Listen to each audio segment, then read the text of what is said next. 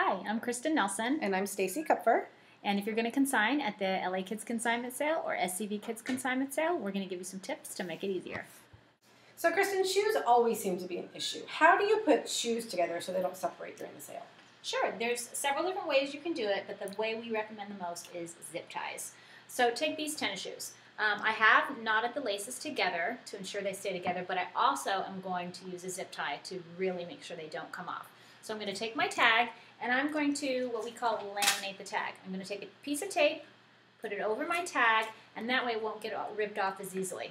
I'm going to punch a hole, and then I'm going to put it on my zip tie before I attach it, and then my shoes are now Oh. firmly attached. The tag won't come off and the shoes won't come apart.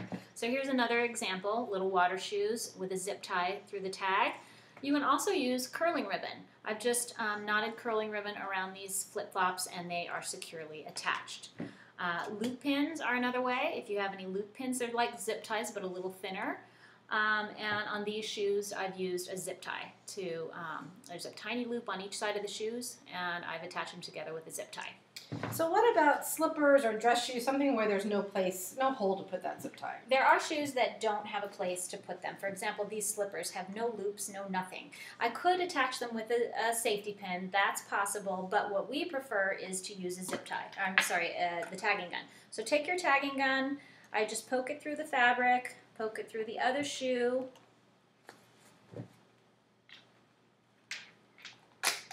and voila, they're now attached. And I've also used the tagging gun to attach it in the fabric of this shoe.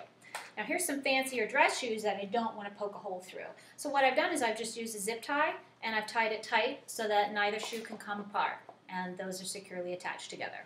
Great. So, I read that you're not supposed to put your shoes in bags. What's up with that? Well, shoppers like to try the shoes on their kids. So they take them out of the bags, the bag goes one way, the shoes go the other, and the, the shopper never puts them back together. So we're not going to be able to sell the shoes if they've lost the tag. So that's why we recommend not to put your shoes in a bag. If you need more information on how to tag your items, refer back to the consigner instructions that were emailed to you right after registration. Thanks for watching. Happy tagging.